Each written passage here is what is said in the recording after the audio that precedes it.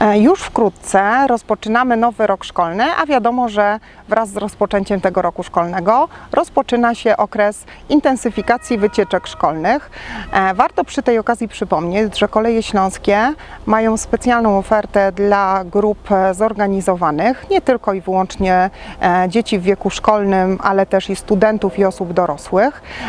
Jeżeli jest taka grupa zorganizowana, na przykład pracowników z jednego zakładu pracy, to na podstawie karty przejazdu grupowego na 10-osobową grupę uczestników takiego przejazdu przypada jeden opiekun, który wówczas podróżuje bezpłatnie. E, Warto przy tej okazji przypomnieć e, wszystkim podróżującym, że jeżeli chcielibyśmy zgłosić taką grupę, która będzie podróżować e, kolejami śląskimi 33-osobową, to powinniśmy to uczynić na co najmniej dwa dni przed planowaną datą przejazdu, dwa dni robocze.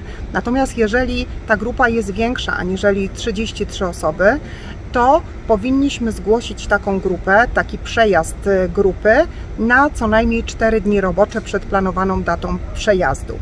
E, powinniśmy zgłosić ten przejazd na karcie e, przejazdu grupowego, którą możemy pobrać albo ze strony Kolei Śląskich, albo też z punktu odpraw.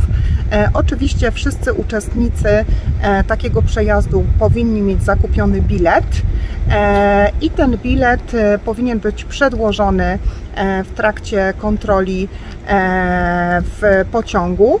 Jeżeli ktokolwiek z uczestników takiego przejazdu posiada jakiekolwiek zniżki ustawowe na swój przejazd, to oczywiście jest też upoważniony do tychże zniżek, mimo tego, że podróżuje e, w grupie, ale powinien pamiętać o tym, żeby posiadać przy sobie i przedłożyć e, w czasie kontroli e, takie dokumenty, które uprawniają go właśnie do zastosowania tejże zniżki ustawowej.